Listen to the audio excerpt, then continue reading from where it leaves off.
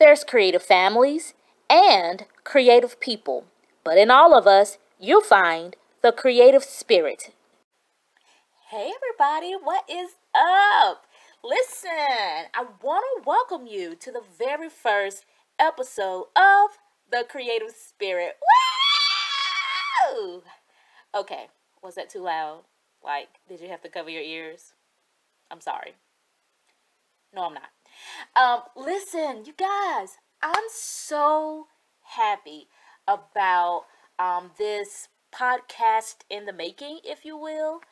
Um, yeah, we're out here in these streets and we're taking some new risks, and I'm all for it. Um, let me introduce myself. I am Talisha, and you know, my purpose for the creative spirit is just um, to to offer an opportunity for creatives to share of themselves. And in return, I hope it gives others sort of that pause that they need to just see what else lies within them. Um, my goal is to motivate others to dream new dreams and to walk new paths in faith, in income, and in anything else. Um, I definitely want this podcast to be a space where we can learn and share from people who are like us, but as well as from people who may not be so much like us. Um, so, without further ado, let's get started with our first episode. okay. Um, so today, or actually for this first season, I want us to focus on this particular topic. So, what's in there anyway? You know, I was thinking about when I was really, really, really young, and for some reason, I fell in love with an entertainer, an entertainer by the name of Charlie Chaplin. Now, I'm sure I just dated myself to many, many, many, many people, but some of you, you do remember this um this performer. And it was very interesting because um all of his performances, or at least the ones that I saw, they were basically silent movies, if you will. Um, he basically captivated my attention with movement, gestures, pantomime. Um, and he just really, it was the creative aspect within him that really, really caught my attention. And I'll tell you why I think it caught my attention. I think what was in him was also in me and the guy never spoke a word. But what he was able to offer of himself is something that I found that I love to do anyway. And so, in so many ways, I would see him performing and entertaining, and I would also pantomime um, and entertain for others. Um, just sort of observing this creative aspect of me in retrospect, I love acting, even though my personality was more of an introvert. Um, I love how laughter could disrupt gloom. In fact, I think many times, I mean, listen, let's not take our comedians for granted um, because what they're able to craft and to mold and, and how they're able to live heaviness, it's definitely a skill and definitely um, something that we should should hone in on more and be more thankful for. Um, but again, back to observing the creative aspect within me, you know. So, yes, I enjoy the acting aspect. I enjoy writing. Listen, was it perfect? Absolutely not. I mean, sometimes you know how you save some of your um your writings and you go back and you look at what you wrote and it's like oh my gosh what was i in class did i wait did I go to school? That's the bigger question. Did did I go to school? Um, and that's just me being funny, but it's sort of like the passion was there to create stories, to create characters, um, even though it wasn't quite perfect. I also remember having a little bit of an entrepreneur aspect within me um, early on as well. And I'll give you one quick example of this. When I was a kid, I would go to school every day and we would get, you know, free lunch. And for some reason, I just never noticed Nutty Buddies near the cartons of milk. So my routine was sort of like this. I would get my chocolate milk because I hated white milk and or cow's milk as they say and i would get my chocolate milk and then i would go down the line and get me that delicious fiestada. What y'all know about that fiestada? Y'all don't know about no good pizza. So anyways i would go through the line and give the lady my little three digit number and then i would go on to eat my food. I would clean the plate. But one day I would go through my routine and I would see a new want. I don't know why I thought I could just pick it up and go on about my business, but that's exactly what I did. I got my chocolate milk. I got my nutty buddy. I got my meal for that day. Went through the line, gave the lunchroom lady my three digit number, and went on my way until she said, Hey, hey, hey, hey, come back here. You've got to pay for that nutty buddy. I was a little bit confused. I should have known better. But I was just confused. My teacher looked at me and said, Talisha, you don't have 40 cents for your nutty buddy? I said, um, no. My teacher reached in her pocket, pulled out 40 cents, and let me tell you, when I ate that Nutty Buddy, I had a new experience. Woo! The ice cream, the chocolate, and listen, they never seem to put enough nuts on those on those ice cream cones, but I was hooked. I would go home shortly after that and I would say, Hey, Dad, can I have 40 cents for my um, snack tomorrow? And Dad said, Listen, don't you get free lunch? And, you know, in retrospect, that taught me many, many, many different things. But out of that, what I decided to do was this. I used to love to just scribble and draw. I love, this is so weird, quote unquote weird. I loved lines in the same way that I love words. I love curvatures and the width of a line, and I love clean paper, and I love smudges and erasing it, and I love all those things. And so I would just draw and doodle. And from what I had somehow around my house, I found these um, these stickers that had a blank side, but a and but on the opposite side of the blank side was like sticky, like stickiness. So I would draw on the front and then I would take my images to school and try and sell it to my friends. Can you believe that? Now, when I'm thinking about this, I'm like, okay, no one in my family at that time, I, I had not seen anyone sell anything before at that time, I had not, I cannot say that I was aware of any entrepreneurial spirit within my family at that time. So, where did this come from? I would go to school and my friends would say, Oh, I want one. And I'm like, You do? They would say, How much? I hadn't even thought of a price, but you know how much? Does you know how much I charged them? The same price of that Nutty Buddy, baby.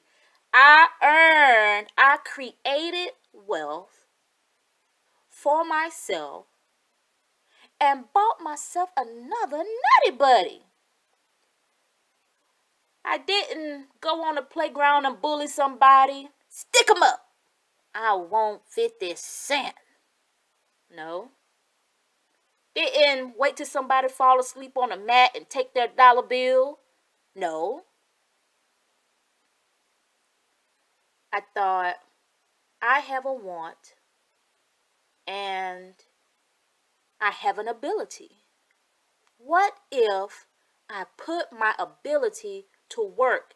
And then what if I did not think so low of my ability, but I would charge?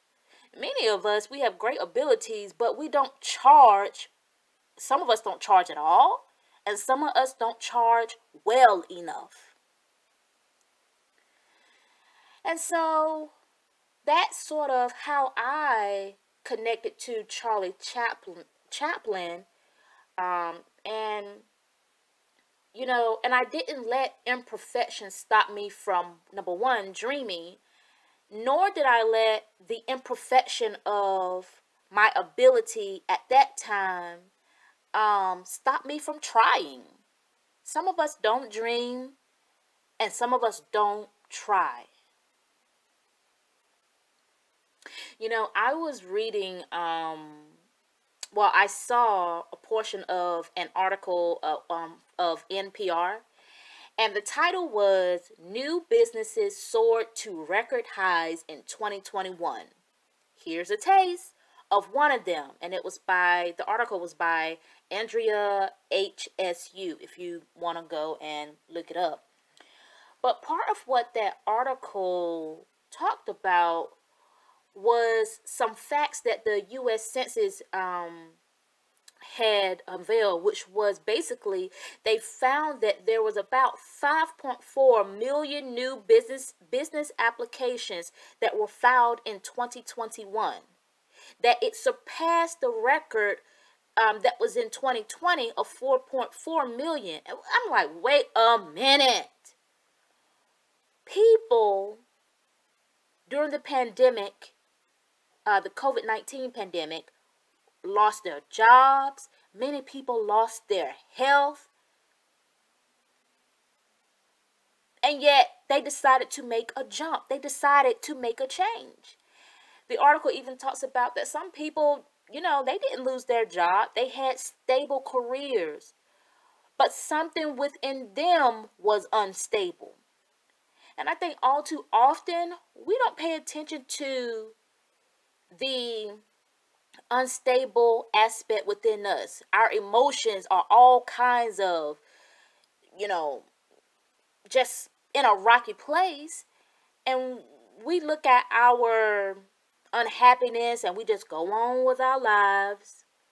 We ignore our unhappiness, which I definitely don't think is a God thing. But many, many people decided to make that jump during the pandemic. And what do we find is that many of them were simply creatives.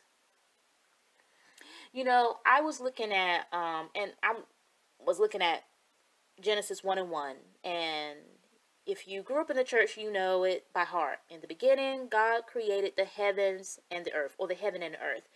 And I don't know, just one day that word stood out to me created.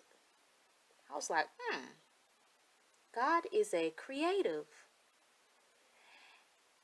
God is a creative. And I just begin to think about that connection. I have a little bit of a God gene in me. You have a little bit of a God gene in you as well. I love um, Genesis 1 and 1. And then as it go, goes on, it talks about this earth that we all live on. And it said, it was without form and void, and darkness was upon the face of the deep. And I'm like, wow. One aspect of this God gene is being willing to work with things that don't have form do you know how many people who are just they just prefer to have the established way, the established job, the established sound. But a creative works with that which is not always established. They're not intimidated by void.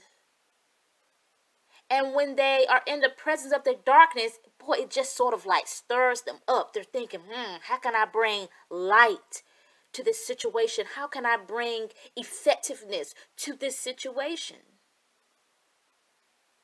And then maybe one of my favorite parts of um, Genesis 1 and verse 2, it says in part, and the Spirit of God moved.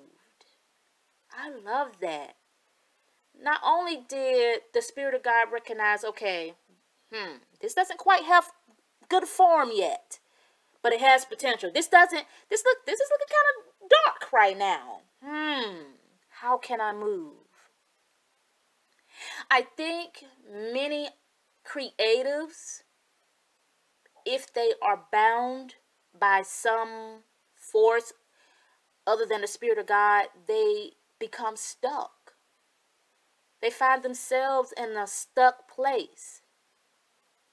But here it says, and the Spirit of God moved.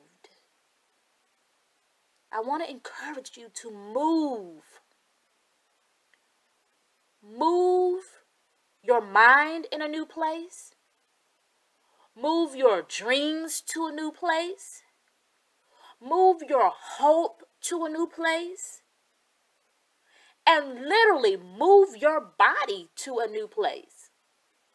Maybe some of you need to physically address address wise move to a new place.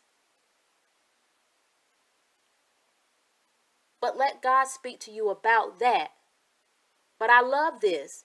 The Lord says this this doesn't this this this don't have form, but he didn't abandon the earth. You know, he didn't abandon the possibility. So don't you abandon your possibilities. No.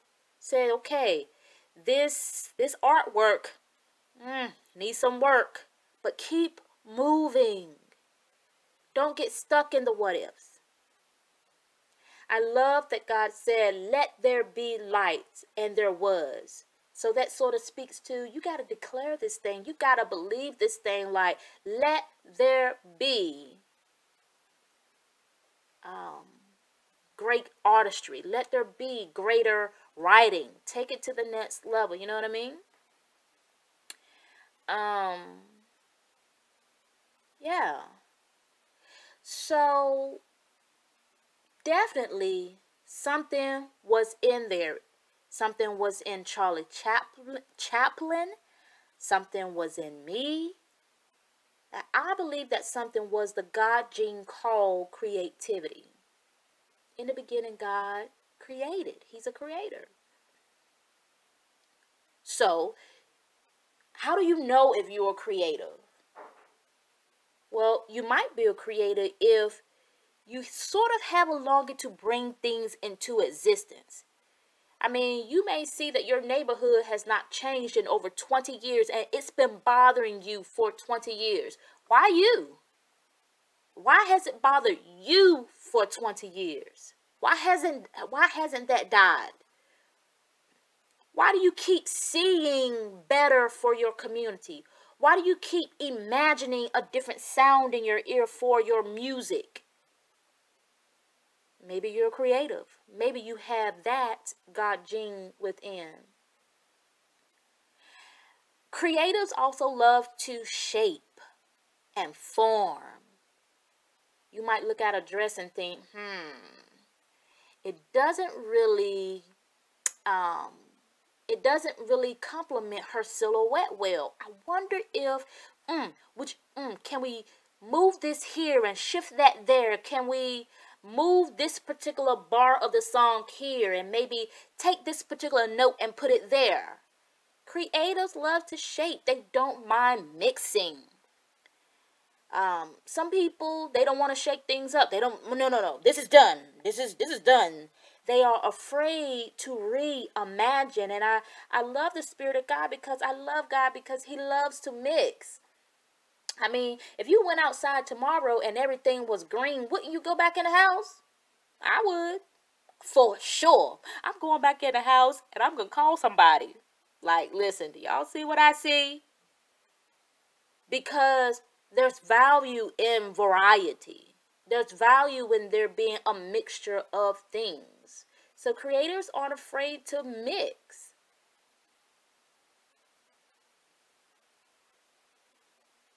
I wonder do you love bringing things to life?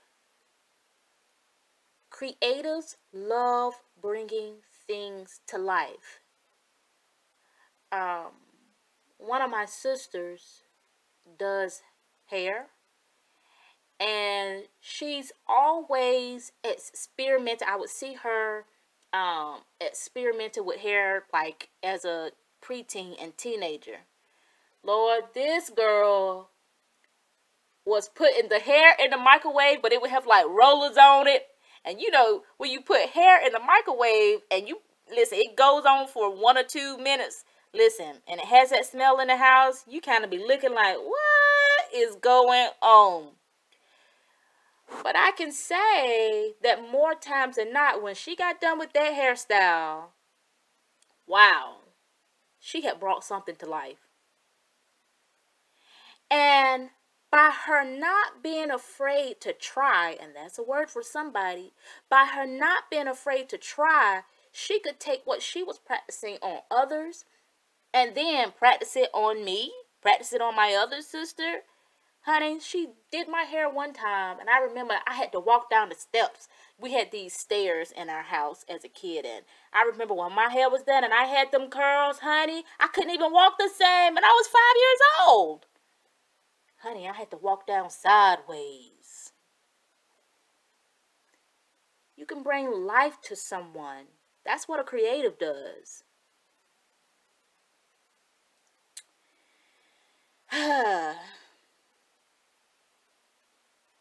Do you bring life just by dancing? Do you bring life just with your words? Oh my gosh, my my father-in-law and my mother and my brother um, they're very gifted with words. You would think that all of them have ma degrees in counseling. But it's because i believe they weren't afraid to sort of step out there and learn and practice how to encourage how to listen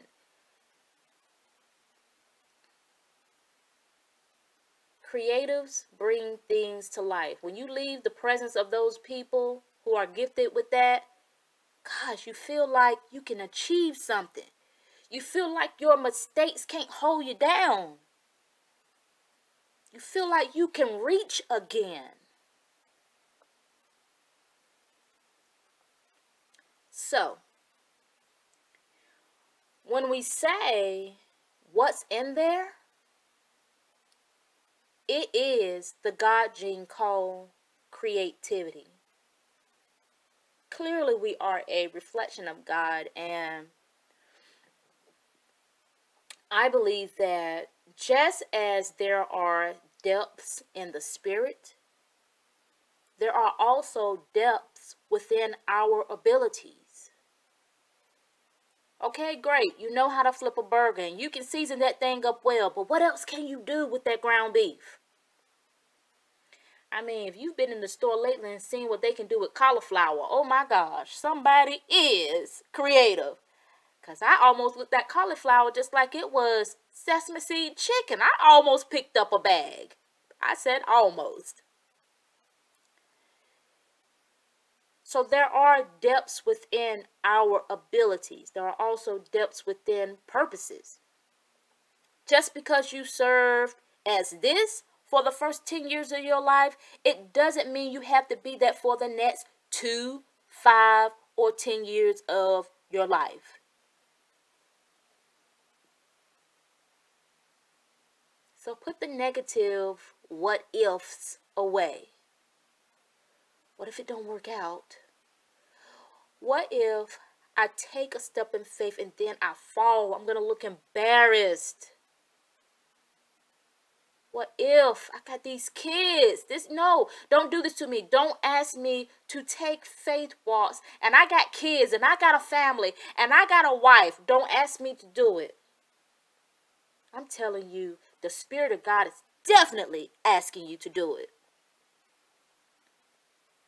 Put away your ageism.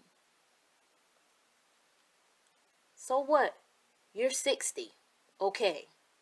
What does that have to do with what God can do? So what? You're 40. What does that have to do with what your drive can do?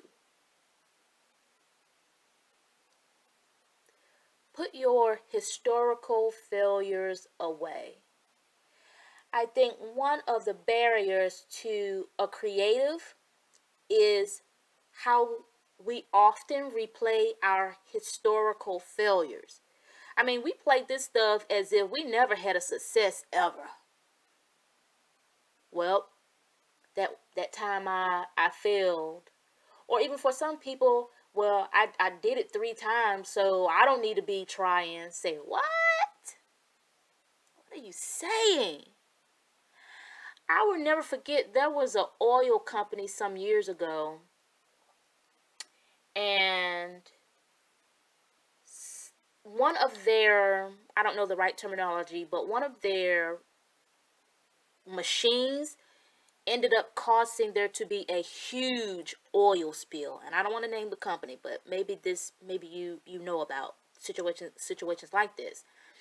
And oh my gosh, it's sort of like it killed so much of the economy um, of a particular uh, city. And I will never forget how soon this company was up and running after they had did what they did to to people. And for some reason that just sort of like spoke to me. I'm like we see companies make failures all the time, but we don't see them saying, well, well, everybody saw my mistake. I don't need to do that no more. Say, what? No, these people continue running. They continue imagining. They continue dreaming. They see to themselves, okay, how can I take this idea to the next level? Like, how can we make this better so it doesn't happen again? I mean, yeah. So, what kind of declaration do you need to make? Let there be what? Let there be a business. Let there be understanding. Let there be a new sound. Let there be a new movie. My gosh, don't we need some new content for movies? Don't we need some of these organizations to be shifted and changed and changed? You can do it because what's in you is a God gene called creativity. Hey guys, I'm your host, Talisha. I want to thank you for tuning in to the very first episode of The Creative Spirit. Uh, today is June 24th, 2022. I'll see you next time. Bye.